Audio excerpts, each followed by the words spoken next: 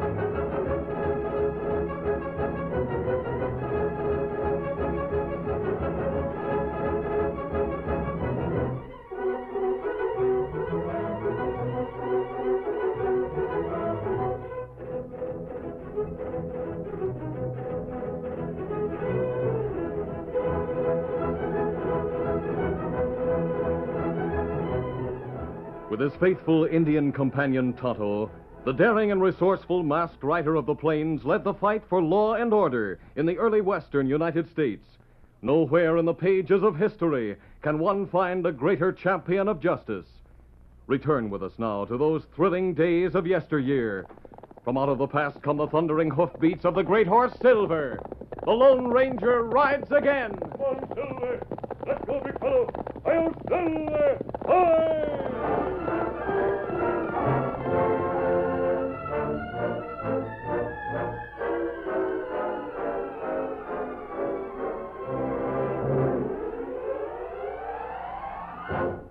Two men faced each other across a paper littered desk in the executive office at the state capitol.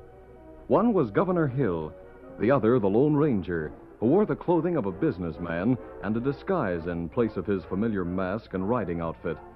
It was a disguise with which the governor, an old friend, had become familiar. Clasping his caller's hand, he exclaimed, The Lone Ranger. This is indeed an honor. The honor is mine, Governor Hill. How can I help you? I called you here because I want to find a fugitive. Well, that's a job for your state rangers. Not in this case. Sit down, sit down. Thanks. The law enables me to send officers anywhere to track down an outlaw, but it makes no provision for remedying its mistakes. The man I want is a fugitive from injustice. Please explain, Governor. Several years ago, a young fellow named Tom Wade was convicted of killing a rancher during a feud in the Pipe River Valley. Yes? Just before he was to be executed, he broke jail. He never was recaptured. I see. Recently, the chief witness against Wade made a deathbed confession, admitting that he himself committed the crime. I immediately signed a pardon for Wade, but I lacked means of locating him and delivering it. I take it that Wade has nothing to fear from the law now. Well, that's true, but it must be assumed that he doesn't know it and is still living the tortured life of an escaped convict for whom the executioner waits. Do you have his description? Here's an old wanted notice, but it's too vague to be of any help in finding a man who's probably changed his name and appearance. Well, uh, what about his relatives? I was coming to that. He has a mother who was in to see me as soon as she heard about the pardon. She couldn't tell me much. Even a little will help in a case like this. Well, she said she had heard from her son but once, and then indirectly. Several months ago, a strange young woman, whom she describes as having red hair, called on her. Now, this girl gave her a sack of gold dust and a message from Wade, but didn't disclose his whereabouts. Gold dust suggests a mining camp. Yes, but there are mines from Montana to the border. A red-headed girl traveling alone in this country would be noticed. Give me the pardon, Governor.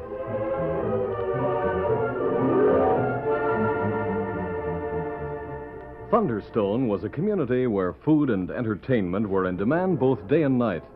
The restaurant known as Slim and Red's Place had been locked up just long enough to allow the proprietors to clean the floor, reset the tables, and chalk a new bill of fare on the blackboard.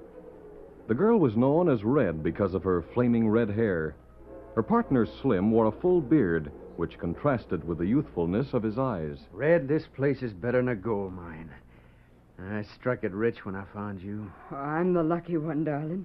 I'd still be working in the Lady Fair dance hall if you hadn't come along. We could be riding double on top of the world. Only I'm Tom Wade. Yeah, Tom Wade. Sometimes I wish you'd never told me that. I had to, honey. Feeling the way I do about you. Tom, I know you never dry gulched anyone. The law says I did, and that's what counts. I never can go home, never see my mother. I wish you'd brought her here when you went to see her. Your ma wouldn't come. She was afraid of being followed. Why, it was dangerous enough for me to come back. How so? I got too much attention, Tom. After all, I could be trailed. Why, why maybe the law's tracing you right now. I'll never be any safer than I am in Thunderstone. With gunfights and robberies going on every day, Sheriff Madden isn't checking up on fellas who keep out of trouble. Anyhow, he's my friend. Friend or not, he'd arrest you, Tom, if somebody told him your real name. Look, Red. Here he is now. He's coming here. What for? He knows we're locked up. Oh, quit shaking so. Let him in. Yeah. Just a second, Sheriff.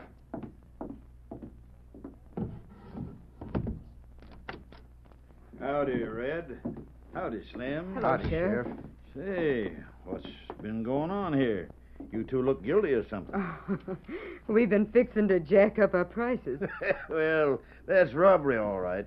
But what I come to say is that from now on, I can't send anybody after that chuck you've been cooking for my prisoners. You mean we'll have to deliver it? I reckon so. That trusty who's been getting it finished his stretch today. We're mighty busy at mealtime, Sheriff. Well, fetch it over when you can. Figure on bread, beans, and coffee for 20 tonight. All right, Sheriff. You leaving now? Yep. I'm keeping an eye on the Lady Fair dance hall. Now, that place is always getting shot up. From now on, everyone who has a hand in a ruckus there goes to jail. Well, so long. So long, Adios. Sheriff. Red, I, I don't like the idea of taking Chuck to those prisoners. I've seen enough jailhouses. I know, Tom, I know. But we have to keep the sheriff from getting suspicious. He had me scared for a minute. Yeah. You'll always be like that if you stick with me. Just the same. I'm sticking.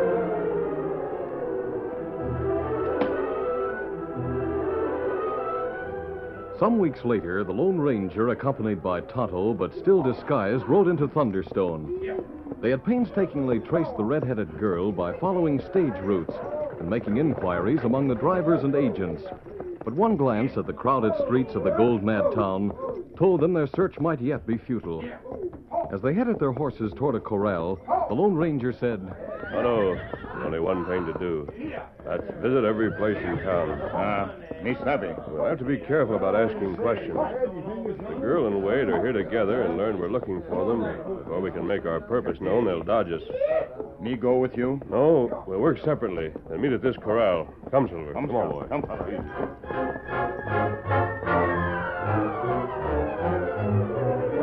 The Lady Fair dance hall was packed to the doors. Mingling with the crowd, the Lone Ranger watched and listened, as he had done in other places of entertainment along the street. He saw several professional gamblers and gunmen whose names he knew, but nothing that he could connect with his search came to his attention. Then an aged swamper with a scrawny body and watery eyes sidled up to him and tugged his sleeve. Mister, let me get behind you. What's the trouble, old timer? See that feller holding an empty glass? Yes, he's headed this way. He's been riding me ever since he hit town. Now he's after me again. I know him. Stand still. That move, stranger. I want that old swamper. What for? I'm gonna shoot this glass off the top of your head. Stand over against the wall. Uh, don't make me do that. Get over there, I said. Put that gun back.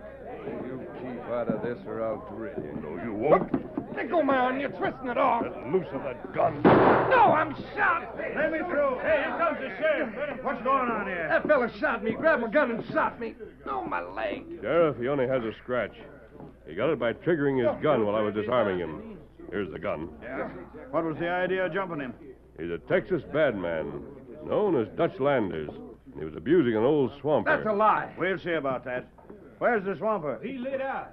Did any of you gents see how this ruckus started? We didn't see nothing. I was waiting. All right. Come on, you two. You're going to jail. Wait a minute. You're making a mistake by arresting me. I can find that swamper. I'll do the finding, mister. Till then, I'm holding you for disturbing the peace. But, Sheriff, I came here on business for Governor Hill. Business in a dance hall. well, you're just getting yourself in worse with that kind of malarkey. What about me? I didn't do nothing. If you're Dutch Landers, like he says, you've done plenty. The federal marshal wants you for shooting a soldier. That means the rope. Well, let me get at that hombre. I'll break his neck right now. No, you don't. Now get going, both of you. Clear the way, gents. Open the door. With the sheriff stubbornly refusing to listen further, the Lone Ranger chose to go to jail rather than make a break, which would endanger the success of his mission. Shortly after he and Landers had been locked inside the cell block, Tom Wade entered the sheriff's office burdened with pails of food. The sheriff greeted the restaurant man with a broad grin. Well, Slim, uh, haven't found a trusty yet, but I got two more customers for you. I've got chuck enough for all. Tell the turnkey to unlock. Slim's coming through. All right, Sheriff. Don't keep me waiting. This coffee's plenty hot. Yeah, I'm opening the door. Anybody shut up in the cells? No, but make them stand inside and wait their turn. They would stop. Get back where you bunk, boys. I'm starting at the first cell. Howdy, fella. You're new here. That's right. Somehow you don't look like a jailbird. Perhaps I'm not. Innocent men have been jailed before. Hombre, you said something. Hand me your can and cup. For a moment, the Lone Ranger and the man he had set out to find faced each other, wholly unaware of the ironic drama of their meeting. Then Wade passed on. Hurry, Slim. I'm hungry enough to eat a hard-boiled boulder. With shouts and the rattle of tinware marking his progress along the tier, Tom Wade reached the last cell. Seeing that its occupant lay motionless on a bunk, he put down his pails and stepped inside. You sick, fella? Eat it. I don't want any of your drop bread and fish water. It's better chuck than you get in most pokies. How do you know? Hey, I've run into you before. Not me. Yeah, I remember now. It's in the Pipe River Jail. You're Tom Wade. No, no, I'm not. You can't fool me. I'm Dutch Landers. I sailed next to you when you beat the news by busting out. You're loco. I'm getting out of here. You move and I'll yell for the sheriff. Oh, don't do that. Don't give me away. Well, I won't. If you help me get out of here. What kind of help do you want? Look, Wade, you bring the chuck in here. Be a cinch for you to smuggle me a gun. Give me a little time, Dutch. Time for what? If you're not here tonight with a loaded six shooter for me, I'm going to turn you in. Now it's a gun for me or a rope for you.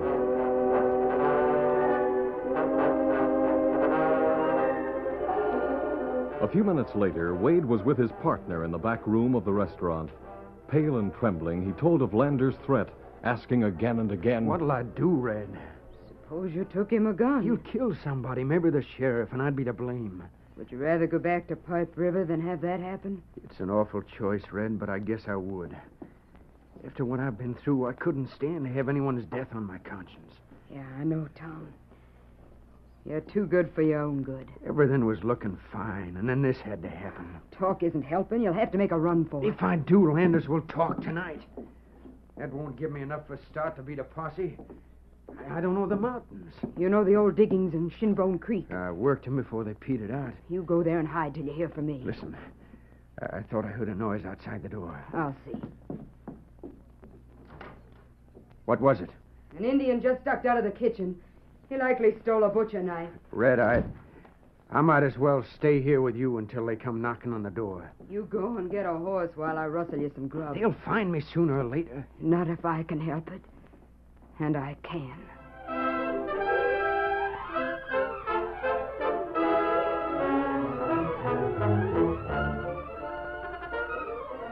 The curtain falls on the first act of our Lone Ranger story. Before the next exciting scenes, please permit us to pause for just a few moments.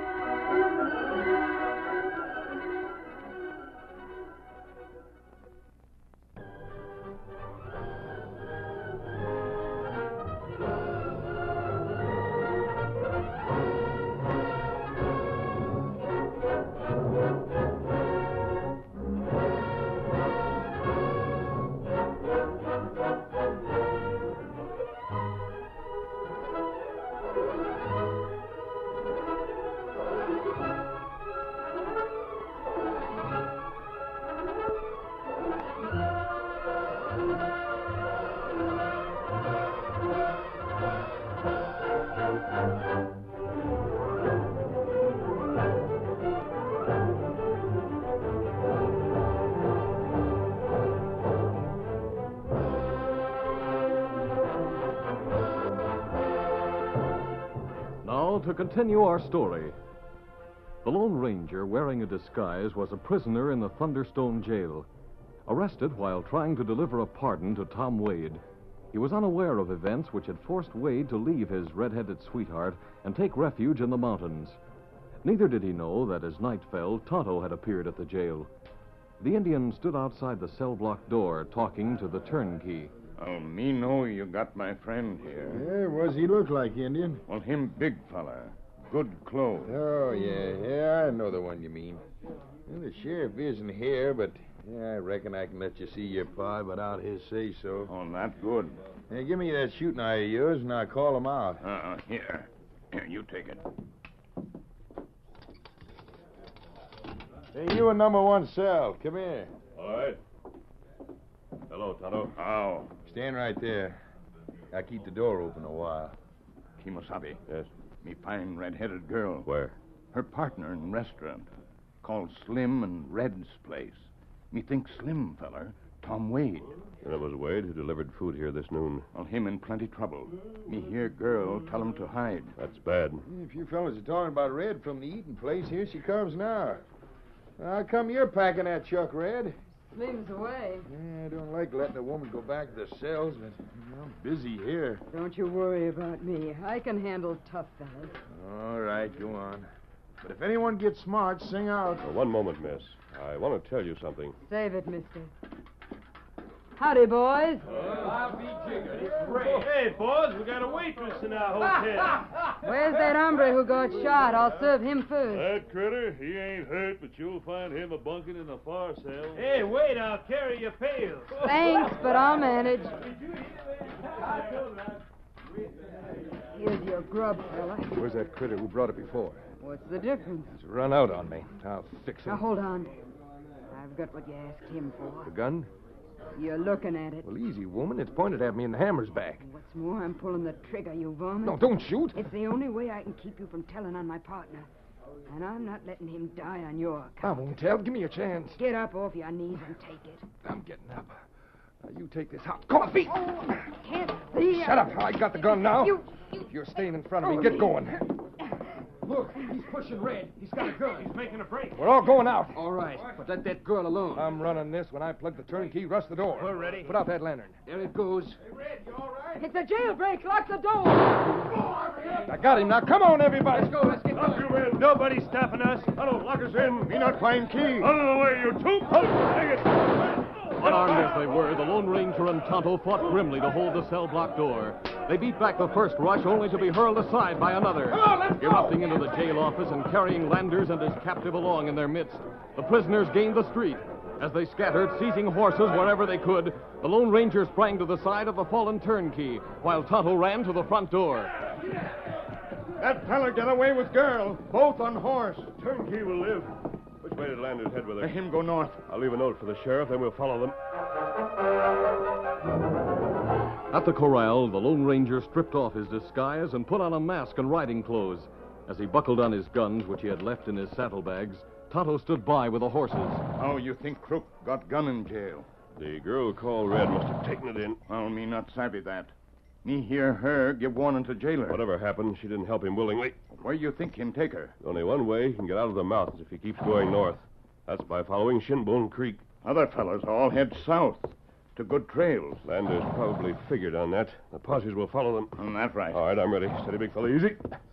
Come on. Get him up, Scout.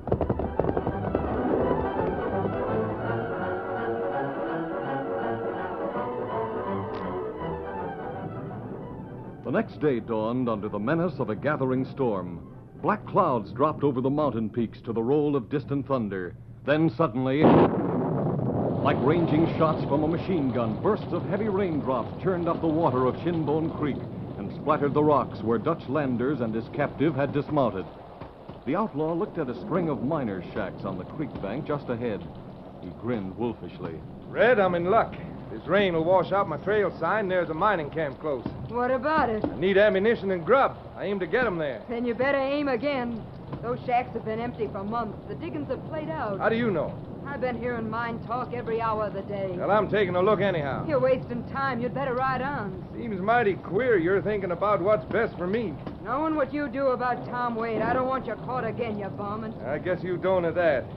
But I'm down to my last cartridge. I gotta be sure there's nobody there. Now, you walk ahead of me and I'll lead the horse. Come on. Why don't you let me go? You're still good protection from bullets. And if the law dogs catch up with me, maybe I can trade you to them and save my skin. I should have plugged you when I had the chance. Hey, I smell bacon frying. It's coming from that shanty there. Why, you're crazy. Knock on the door. I'll do the talking. Knock, I said. There's nobody there.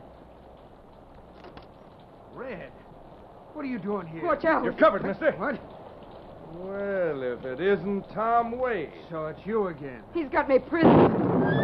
There goes your horse. Let him go. You're not getting the drop on me. He'll head back to town. By the time he gets there, nobody can backtrack him. What do you want, Dutch? Something to eat first.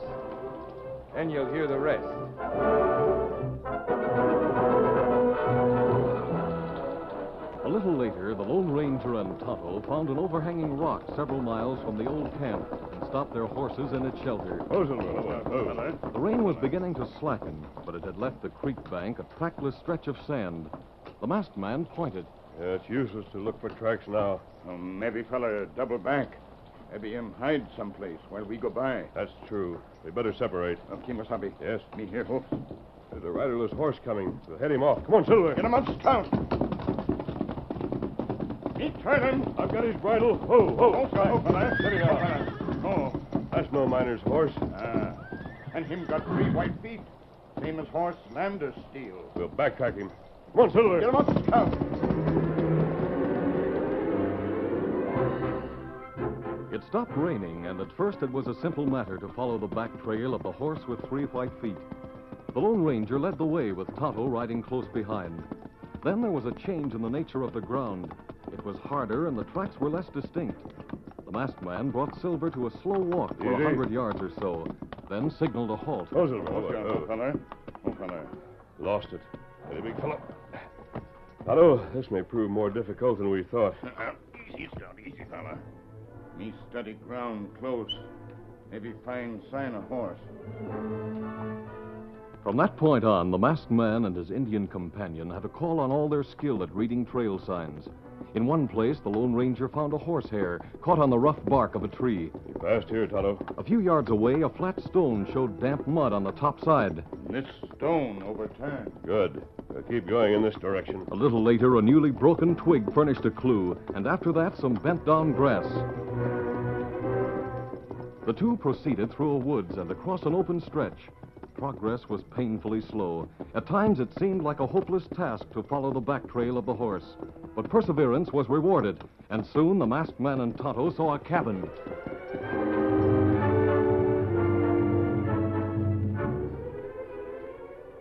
Dutch Landers leaned back in a makeshift chair, thoroughly enjoying the cruel turn of events, which had made him master of both Tom Wade and the girl named Red. They waited silently until he spoke.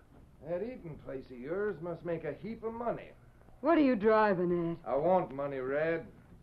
Money, a horse, and a lot of other things. Wade's going to get 'em for me. How much money? I'll settle for ten thousand. We won't pay it. Will we, Red? He can't turn me in without sticking his own neck out. I can write, fella. A little letter to the sheriff would finish you off without any danger to me. We'll have to pay the varmint. Where's your horse, Wade? Stabled in the next cabin, and it's ready to ride. And you're going to town pronto. Don't get any ideas about skipping the country, because I'm holding Red here till you come back with everything I want. So long, Red. So long, partner.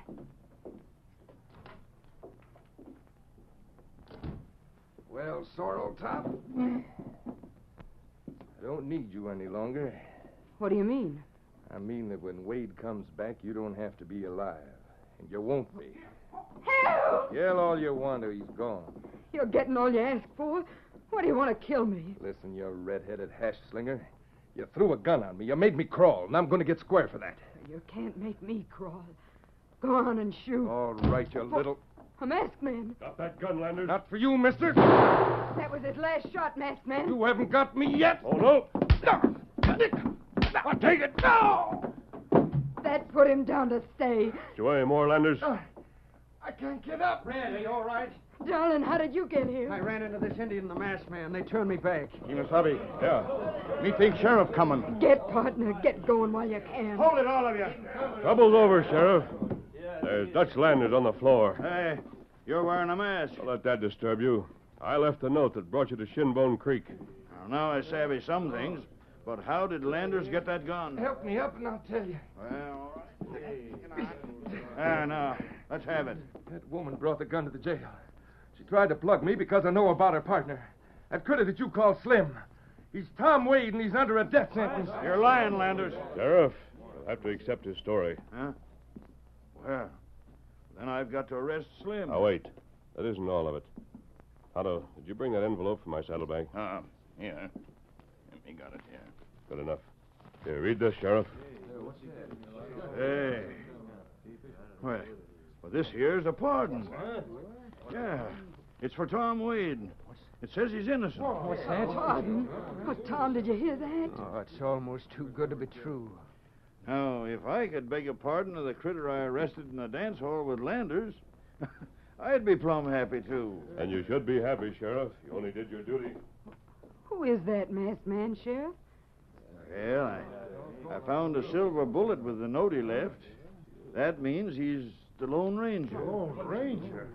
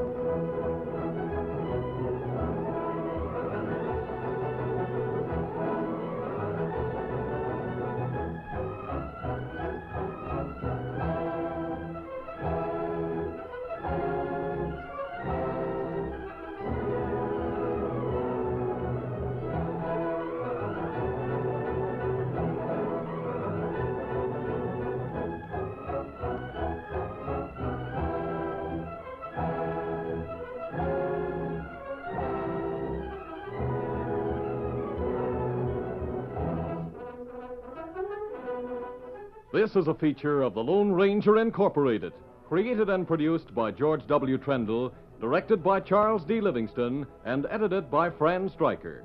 The part of the Lone Ranger is played by Brace Beemer.